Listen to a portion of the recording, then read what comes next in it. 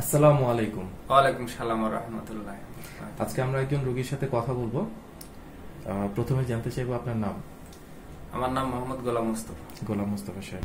Sir আপনি কোথা থেকে এসেছেন? আমি চাপাই নবাবগঞ্জ থেকে এসেছি। চাপাই নবাবগঞ্জ থেকে। স্যার আপনার কাছে জানতে চাইব যে আপনি এই ডিপিআরসি হসপিটালে মূলত আপনার কি সমস্যা নিয়ে সবার প্রথমে এসেছিলেন? আমি এই ডিপিআরসি হসপিটালে মূলত আমার মানে হঠাৎ করে প্রায় পাঁচ মাস আগে ঘাড় ব্যথা। হঠাৎ। করে কোনো কিছুতে যে লেগে গেছে সেটা না হঠাৎ করে ঘাড়ে ব্যথা। আচ্ছা। ওই জন্য আমি এখানে এসেছি। আচ্ছা। স্যার এই সমস্যাটা আপনি গত পাঁচ মাস যাবত পাঁচ মাস যাবত ভুগতেছি।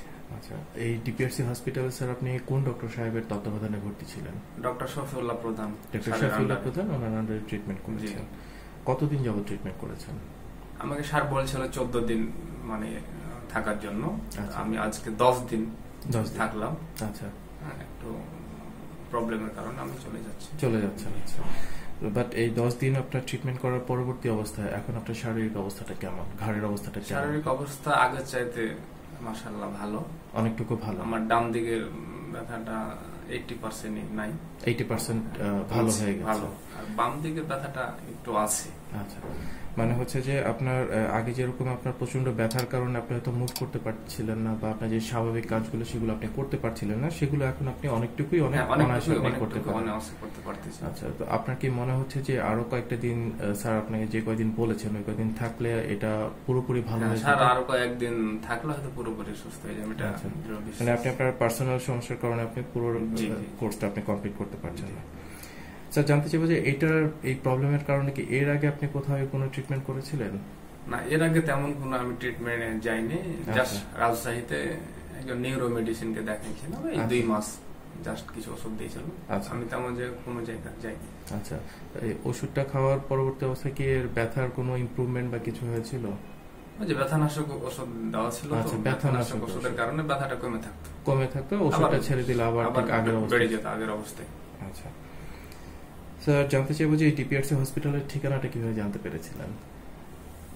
ডিভার্সের ঠিকানাটা আমি পেয়েছিলাম মানে মোবাইলের মাধ্যমে এই ইউটিউবে। ইউটিউবের মাধ্যমে। দেখা দিয়ে করতে করতে দেখে হঠাৎ করে সুফুল্লাহ সারের একটা মানে ভিডিও পান। আমি দেখতে পাই। তাছাড়া সারের অনেক আমি প্রোগ্রাম টিভি চ্যানেলে দেখেছি। আচ্ছা। মানে হ্যাঁ, আপনি আগে থেকেই স্যারের আগে থেকে জানতাম। প্রায় আমি আচ্ছা। তিন চার মাস আগে থেকে জানতাম কি আচ্ছা। সফুল স্যার একজন ফিজিওথেরাপিস্ট ভালো এবং ওনার ডিভিআর হসপিটাল আছে। এবং এখানে সব রোগের ট্রিটমেন্ট অপারেশন বিহীন যে ধরনের ট্রিটমেন্ট করা হয়। আমি আসব আসব করি ফাঁকে আমি আসছি। আচ্ছা এবং আসার পরবর্তী অবস্থায় আপনি যখন স্যারের সাথে দেখা করেন স্যার আপনাকে কি বলেছিলেন? না সার পরীক্ষা নিরীক্ষা করার বলল কি না এটা অপারেশনের দরকার নাই। জি। Operation ছাড়া আপনি আপাতত- সুস্থ আপাতত আমি দেখি ট্রিটমেন্ট করে তারপরে পরবর্তী আচ্ছা। মানে ধাপ নেওয়া যাবে। তো আমাকে চোদ্দ দিন মানে ভর্তি হওয়ার জন্য অ্যাডভাইস করলে অ্যাডমিশন আচ্ছা। তো পরবর্তী অবস্থা তো আমরা নিজেরা এখন দেখতে পাচ্ছি এবং আপনিও বলছেন যে আপনি এখন আগের থেকে অনেকটুকু সুস্থ এবং অনেক ভালো অবস্থা আপনি আছেন। আছি আচ্ছা। স্যার একটু জানতে চাইব যে আপনি যে কয়দিন এই ডিপিআরসি হসপিটালে ভর্তি ছিলেন? দশ দিন। আপনার যে ধরনের ট্রিটমেন্ট পাওয়ার কথা ছিল এখানকার যারা ডক্টর নার্স বা ম্যানেজমেন্টে যারা ছিল তারা কি সেই ধরনের ট্রিটমেন্টগুলো নিশ্চিত করেছে? আপনি কি টাইম টু টাইম সব ধরনের হ্যাঁ ট্রিটমেন্ট মার্শাল এখানকার নার্স থেকে শুরু করে ফিজিওথেরাপি থেকে শুরু করে সবাই একটু টাইম টু টাইম সবটুকু সেবা দিয়েছে। মানে কোনো নাই। বুঝতে পেরেছি। মানে তাদের আন্তরিকতা আন্তরিকতার কোনো ঘাটতি নেই। আচ্ছা। স্যার এই ডিপিআরসি হসপিটালের পরিবেশ আপনার কাছে কেমন লেগেছে? পরিবেশ তো মানে বলা যায় না মার্শাল অনেক সুন্দর পরিবেশ। আমি আচ্ছা। অনেক জায়গায় এমনিতে ঢাকাতে দেখছি অনেক হসপিটাল। মানে এটা নিঃসন্দেহে একদম ভালো মানে বলা যায় যে হ্যাঁ। এই পরিবেশ আপনার যে চিকিৎসা সম্পূর্ণ চিকিৎসা বান্ধব হ্যাঁ। একটি পরিবেশ। গোছানো সবকিছুই একটা ভালো পরিবেশ। স্যার একটা বিষয় জানতে চাইব যে আপনি যেমন গত চার পাঁচ মাস যাবত আপনি আপনার এই ঘাড়ে ব্যথা আপনি ভুগছিলেন আপনি ডক্টরও দেখিয়েছেন হয়তো উনি আপনাকে পেইন কিলার টাইপের কিছু ওষুধও দিয়েছে।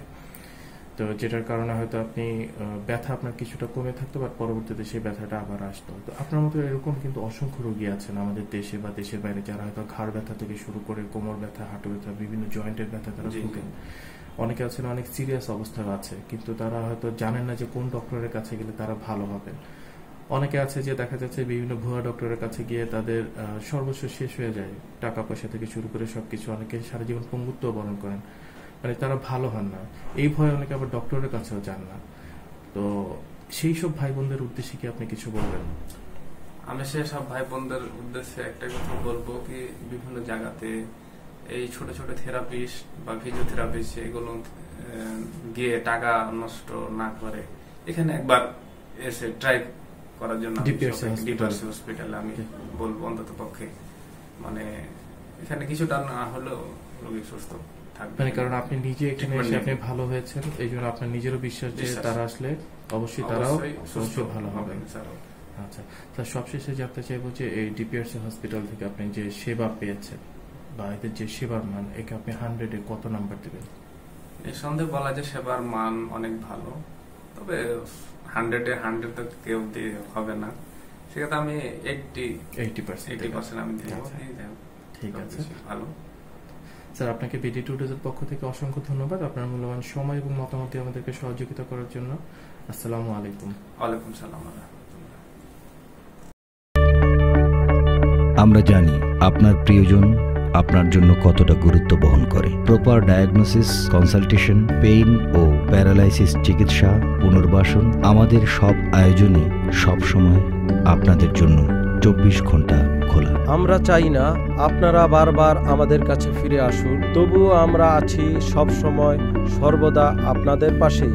ডিপিআরসি হসপিটাল লিমিটেড আস্থা বিশ্বাস ও নির্ভরতায় অবিচল।